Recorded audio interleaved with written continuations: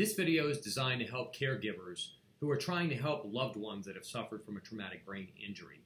Here's eight things that you can do to help them. Preliminarily, people with brain injuries struggle the most with being able to do some of the things that they used to be able to do and being frustrated because they cannot any longer do others. Caregivers also get frustrated for the same reasons, and they alternate between, between being overjoyed of the things that a person is making strides being able to do again and then seeing the setbacks that they encounter. And that's kind of the nature of a brain injury, uh, especially mild and moderate ones, because it only affects certain areas of the brain. So it makes sense that it would only affect certain aspects of their thinking. So, as a caregiver, here are eight things you can do to help a loved one with a brain injury. Most important because it will get your mind straight on all the others. Don't compare them with how they used to be. Their brain has been forever changed in this regard. And the faster that you accept this, the easier it will be for you to help them. Uh, secondly, don't try to make them be how they used to be. You need to adapt around them. The best example I could think of in this regard is the movie 50 First Dates, the one with Adam Sandler and Drew Barrymore. And if you recall, or if you've seen that movie, you'll remember at the end, he does just that. He sets up a way of bringing her faster into every day by showing her videos, doing things the exact same way every day. And although that is a romantic comedy, it is very applicable to real life, and I think when you're dealing with someone that is suffering in this regard. Uh, try to keep to routines. Routines are huge for folks with brain injuries. Uh, do things the same way every day. If you take a walk, go the same route. If you do your groceries by going down certain aisles with them, do those aisles in the same order all the time. Um, importantly, though, is to engage that loved one in their own affairs every day. So um, you don't want to do everything for them thinking that they can't do anything themselves. You want to engage them in what you are doing. So if you're talking about a certain subject, have them repeat the words back to you and um, make sure they repeat names of people that maybe you've discussed. These are all little techniques that can really help a person begin to compensate for their loss. Um, another big aspect is to keep distractions at a minimum.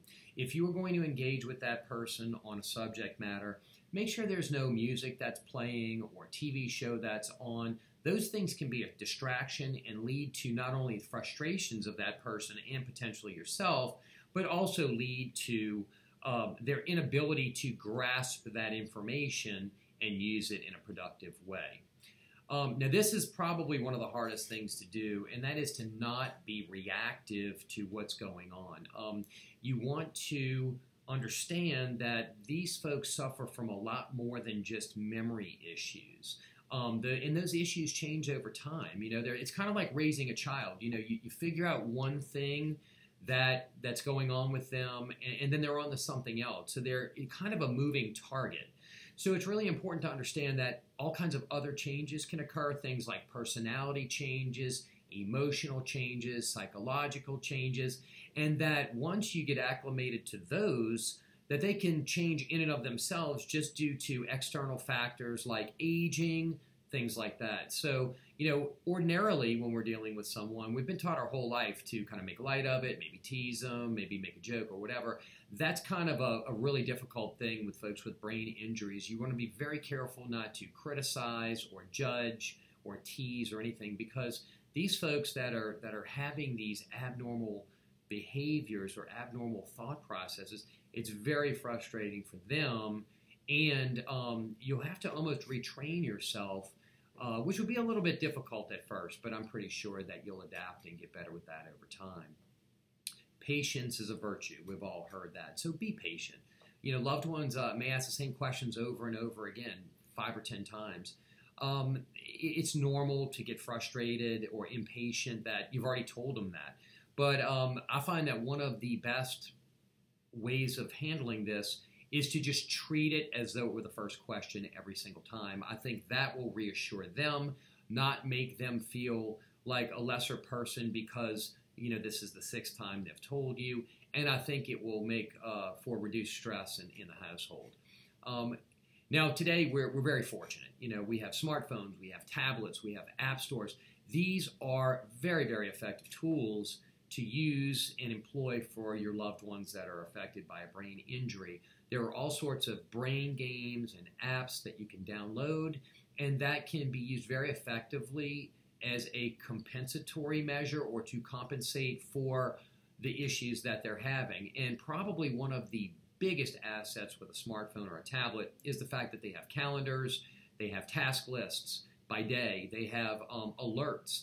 So pe- many people with traumatic brain injuries they tend to remember things for a short amount of time and then it's kind of gone.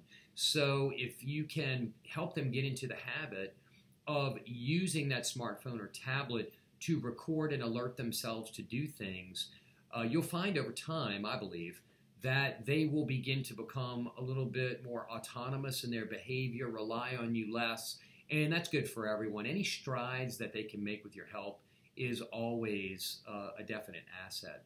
Uh, if you'd like to know more about taking care of a loved one with a brain injury, download my free cheat sheet, Life After a Brain Injury How to Tackle Medical Bills, Safety, Personality Changes, and Regaining Independence. I also invite you to join my Facebook group, the NOLA Brain Injury Support and Resources Group, and the link to that will be included in the cheat sheet, uh, which I provided below. So to download the cheat sheet, download the link below, uh, click on that, and you'll get everything you need. Thank you so much.